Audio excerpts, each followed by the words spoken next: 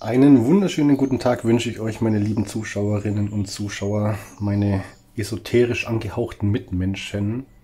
Oh weia, jetzt geht das wieder los. Meine, meine schicksalshaften Angehafteten. Auch geil.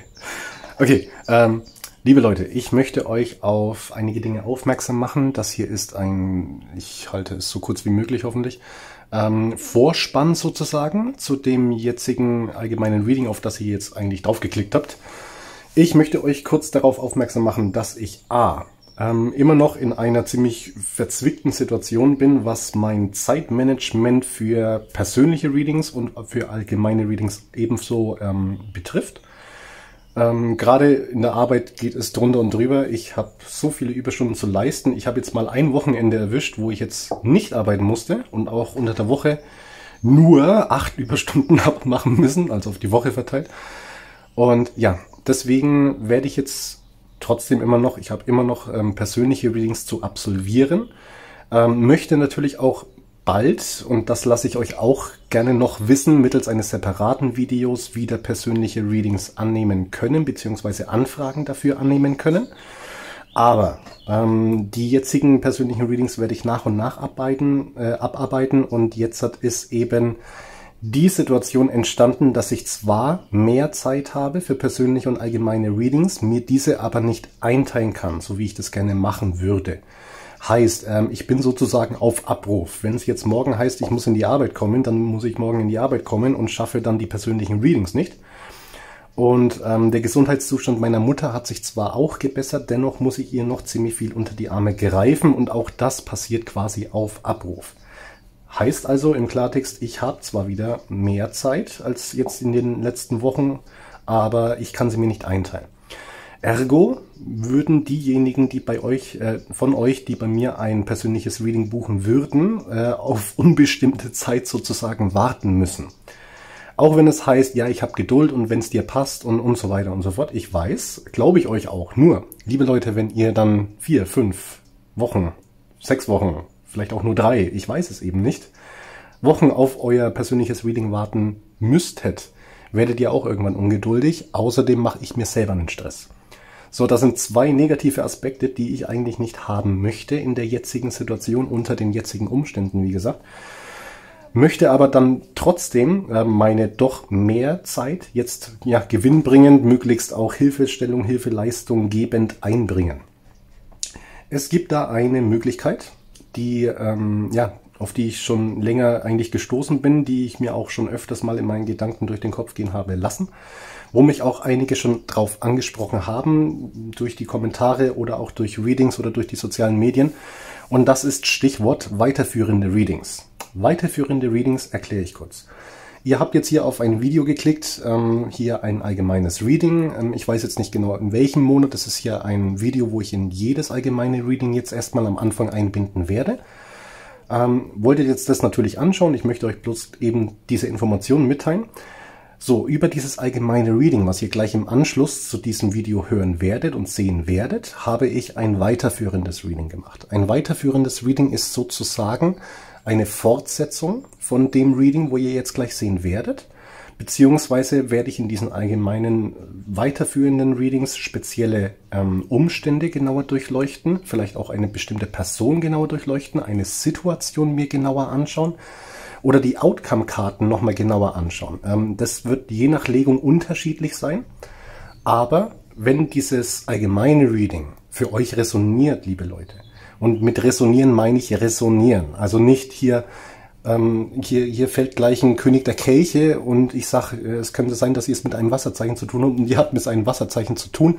Der Rest passt überhaupt nicht. Ja, ist das keine Resonanz? Okay, das ist dann wirklich ja äh, eigentlich nicht so, so verheißungsvoll, sage ich jetzt mal. Wenn ihr aber allerdings, und ich habe das ja sehr, sehr oft in den Kommentaren schon gelesen, wirklich das Gefühl habt, dass diese Legung für euch wirklich auf eure Situation fast schon maßgeschneidert ist. Ja, wenn ihr euch wirklich darin erkennen könnt und eure Situation erkennen könnt, dann macht es Sinn, ein weiterführendes Reading anzuschauen über dieses Reading. Kombiniert mit dem allgemeinen Reading und dem weiterführenden Reading habt ihr dann im Prinzip so etwas wie ein persönliches Reading. Ähm, für dieses Reading muss ich etwas Geld verlangen. Natürlich, ich habe ja auch einen höheren Aufwand Und, also das wird nicht viel sein, ich, ich glaube zwischen drei und fünf Euro so ungefähr. Ähm, trotzdem muss ich dieses weiterführende Reading auf einer anderen Seite als auf YouTube ähm, hochladen sozusagen und dort auch anbieten. Diese Seite heißt Vimeo. Wenn ihr davon noch nichts gehört habt, ähm, beziehungsweise wenn ein weiterführendes Reading für euch in Frage käme, von diesem allgemeinen Reading hier, ja. Schaut gerne unten in die Infobox rein. Ich hau das hier als allerersten Link wahrscheinlich rein in die Infobox. Schreibe euch nochmal ein bisschen was dazu, was bei diesen allgemeinen Readings eben so dahinter steckt, beziehungsweise was dazu, ja, Wissen ist sozusagen. Und dann könnt ihr auch eben dieses weiterführende Reading anschauen. Ich kann euch dazu wahrscheinlich dann, wie gesagt, im Resonanzfall, ja, ähm, mehr Hilfestellung, mehr Hilfeleistung, vielleicht auch mehr Impulse, vielleicht auch mehr Klarsicht vermitteln. Okay, und das ist natürlich an, auch die Hauptintention dahinter. Und somit kann ich meine doch mehr vorhandene Zeit jetzt auch gewinnbringend wieder sozusagen einsetzen. Ich hoffe, ihr wisst, was ich meine. Und ja, wie gesagt, wenn es für euch resoniert und ihr das machen möchtet, schaut es gerne an. Wenn nicht, auch kein Thema. Ähm, persönliche Readings werde ich, wenn ich wieder neue Anfragen entgegennehmen kann, euch mitteilen mittels eines separaten Video. Im Moment kann ich das noch nicht. Okay? Und ähm, ja, ich hoffe, es war alles verständlich. Ich hoffe, ich habe das rübergebracht, was ich rüberbringen wollte. Das müsste ich eigentlich selbst wissen, aber ich hinterfrage mich gerne selbst.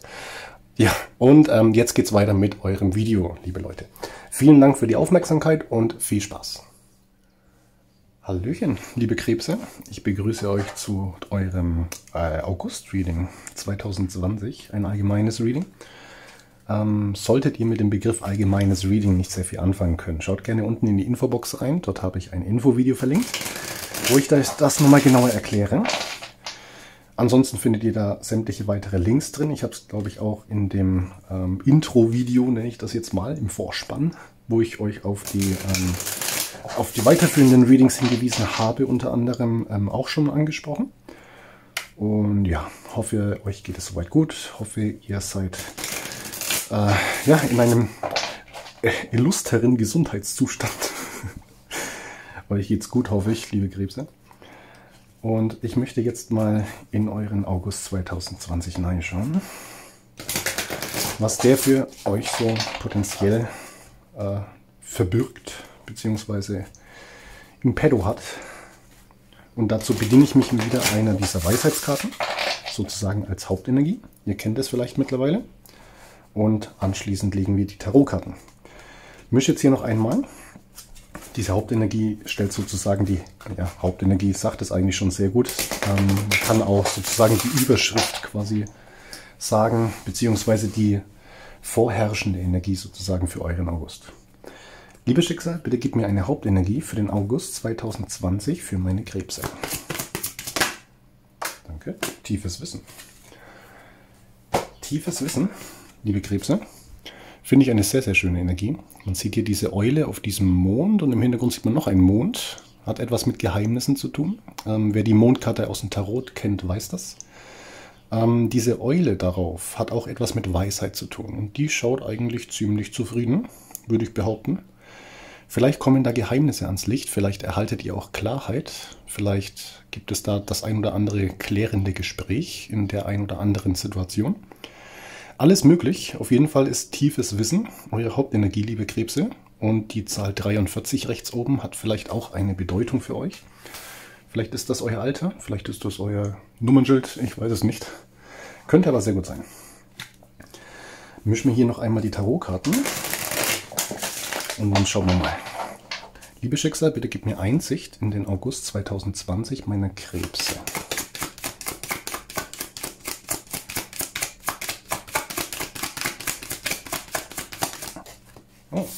Die Zehn der Stäbe. Hm. Wie geht's weiter, liebe Schicksal?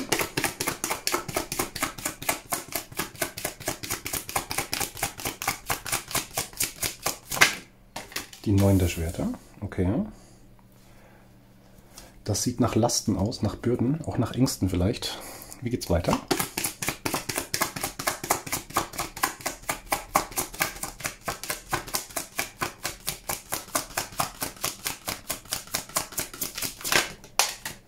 Oh, der Herzschmerz ziemlich präsent hier in der Mitte des Readings.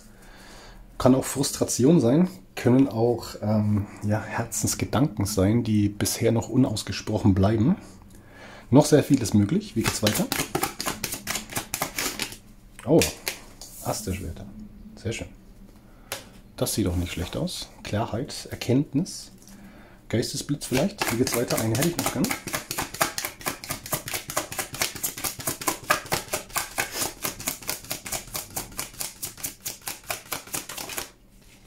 Der Page der Stäbe. Okay, anpacken, Tatendrang, ähm, Optimismus auch sehr stark in dieser Karte Präsenz. Oh, potenzielles Outcome, die 10 der Kirche. Das stimmt doch äh, zuversichtlich, liebe Krebse. Hm. Ja, also es dürfte hier ziemlich holprig am Anfang August werden. Zeit ist fliegend, ne? Beachtet das bitte, aber es bessert sich hier stetig scheinbar. Ich kläre jetzt hier natürlich noch weiter. Eine Klärungskarte bitte zu den 10 der Stäben, lieber Schicksal.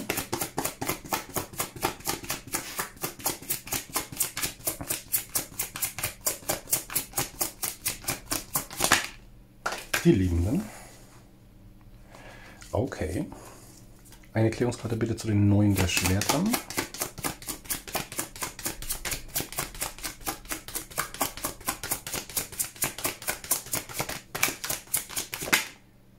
Die Gerechtigkeit.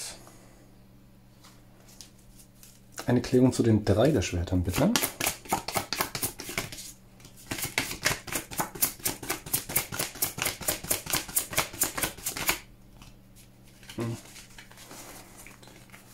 Das ist, oh, das seid ihr. Okay, in der Mitte des Readings, liebe Krebse. Ritter der Kelche.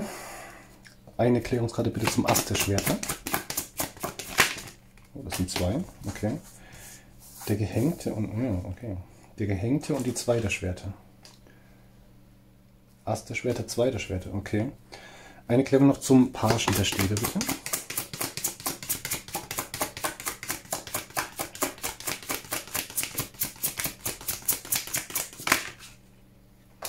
Das ist der Page der Schwerter.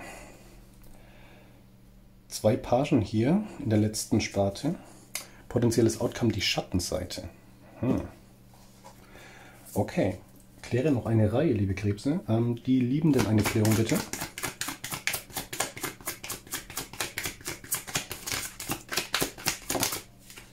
Die achte Schwerter, das spitzt sich zu. Das spitzt sich zu hier. Achter Schwerter auf neunter Schwerter. Ähm, ein gedanklicher Zuwachs äh, in die negative Richtung. Eine Klärung zur Gerechtigkeit bitte.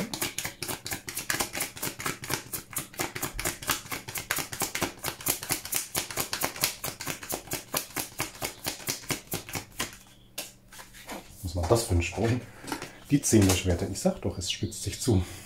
8, 9, 10. Hm. Okay, eine Erklärung zu den Ritter der Kelche, bitte.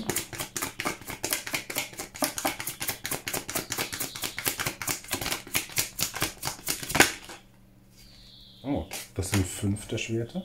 Hier ist so viel Gedankenkraft hier drin. Ganze Reihe von Schwertern hier oben auch schon.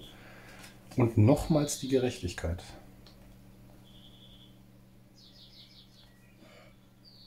Interessant. Okay. Äh, eine Klärung zum Gehängten bitte.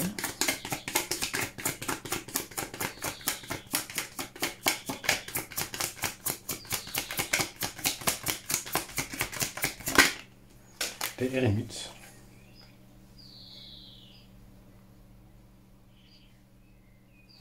Und eine Klärung bitte zum Pagen der Schwerter.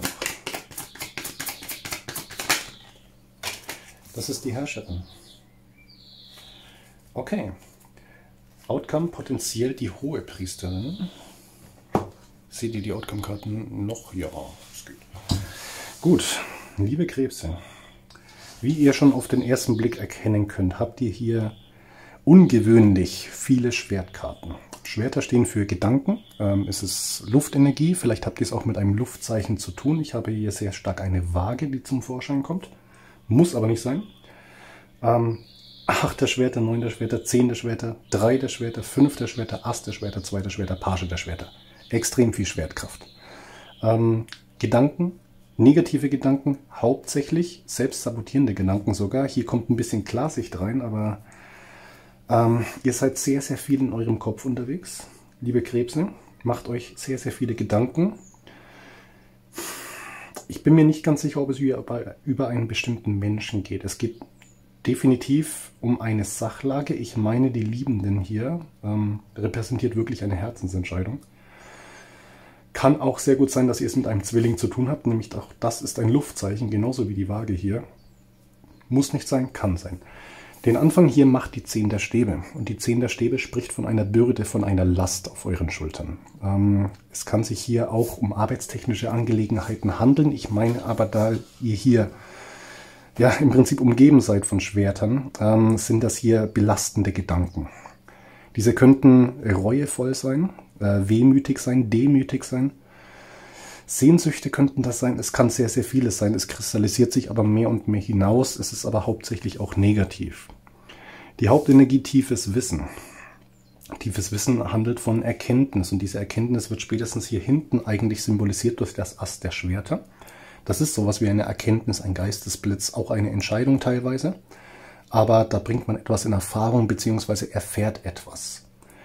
Ich meine, diese belastenden Gedanken, Situationen, Umstände, die euch hier auf diesen Schultern lasten, liebe Krebse, haben etwas mit einem bestimmten Menschen zu tun, denn hier die liebenden Karte hm, ja, steht für ein liebes Paar, für ein Pärchen sozusagen, verheiratet, nicht verheiratet. Es kann auch für einen besonderen Menschen einfach nur stehen, mit dem keine Beziehung eigentlich vorhanden sein muss, zwangsweise.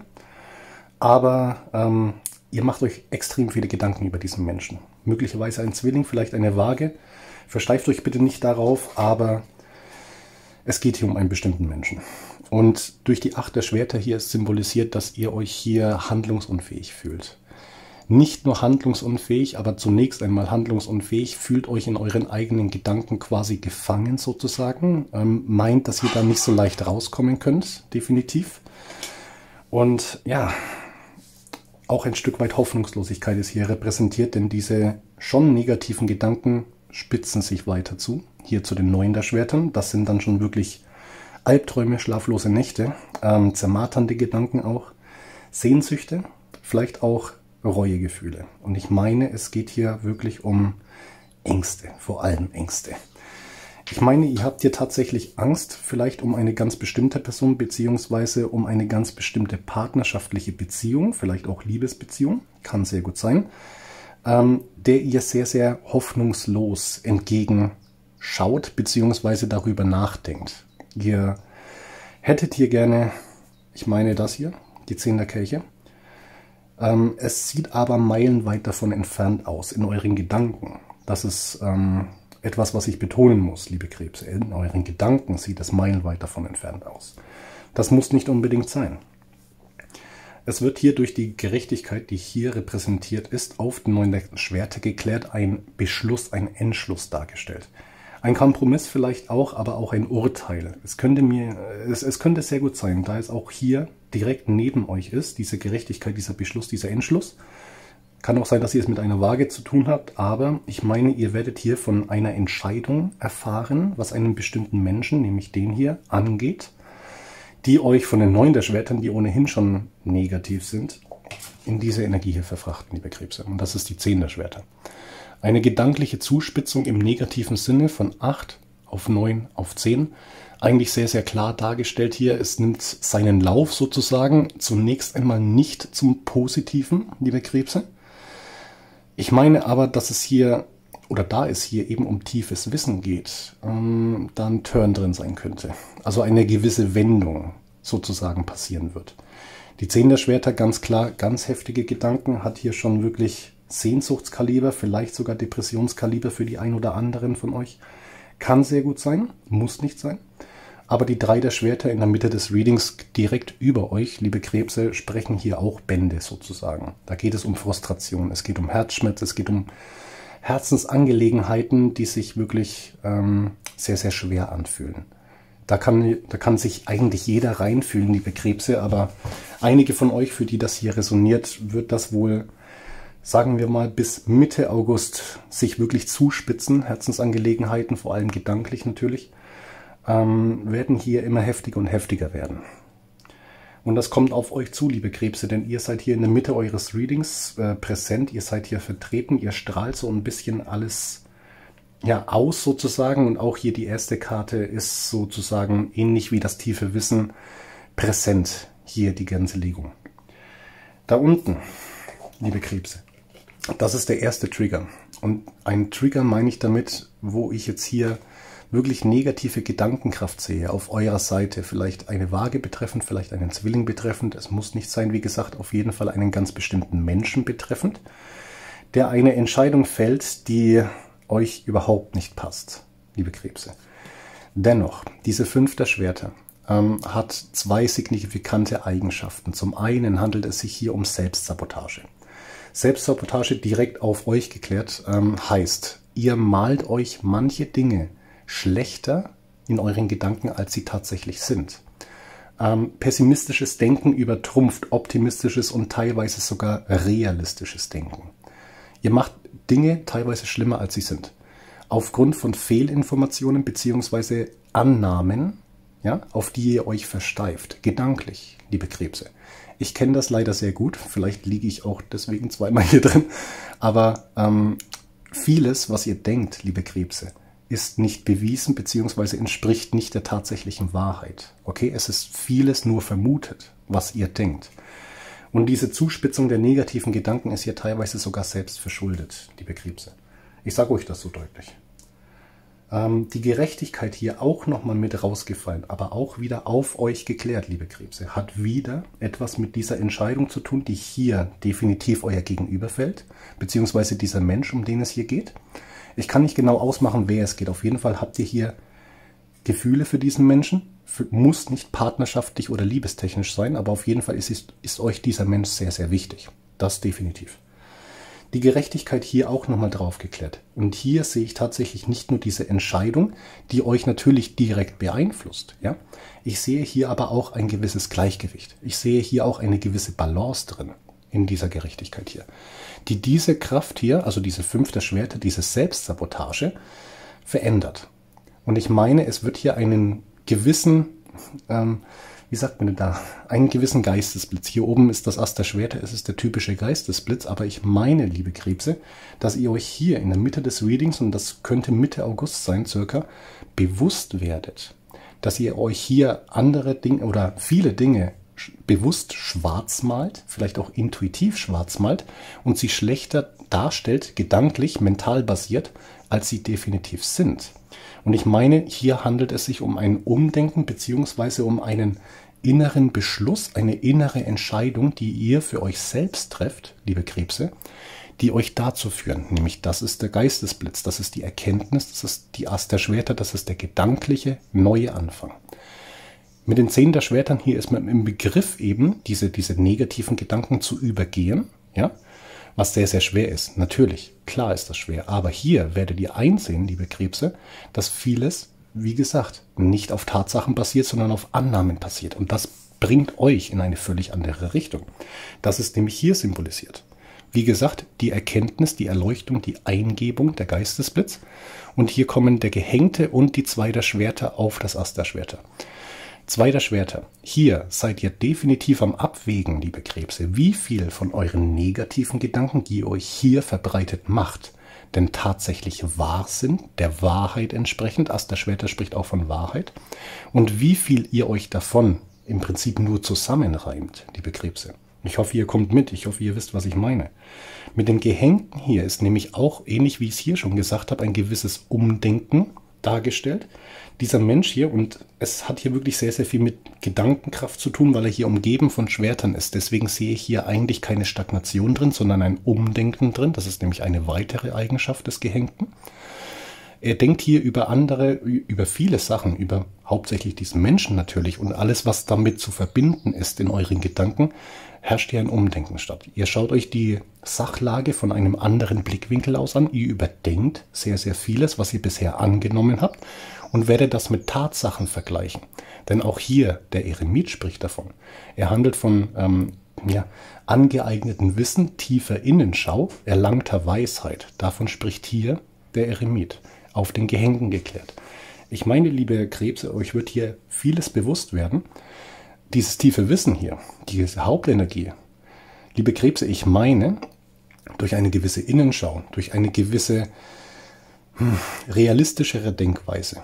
Nicht so diese, diese komplett negative Denkweise hier, sondern eine realistischere Denkweise. Ich rede hier nicht von übertriebenen Optimismus, obwohl der hier sowieso folgt. Ja? Aber ich meine, dass ihr hier die Dinge nicht so schlecht anseht, weil sie aufgrund eurer Erkenntnis gar nicht so schlecht sind. Teilweise. Okay? Das sagt hier der Heremit auf den Gehängten.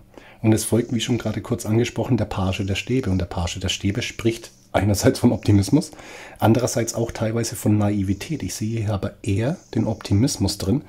Denn wenn ich mir diese pessimistischen Gedanken hier anschaue, die hier vorrangig in den ersten beiden Augustwochen, Zeit ist fließend, ja, aber vorrangig dort eigentlich in eurem Kopf vorgehen, liebe Krebse, ist das hier eine wunderbare Energie.